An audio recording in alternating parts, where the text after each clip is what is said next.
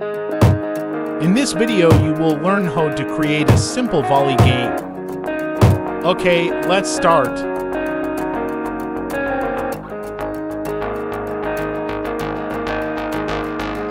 The game will be local multiplayer.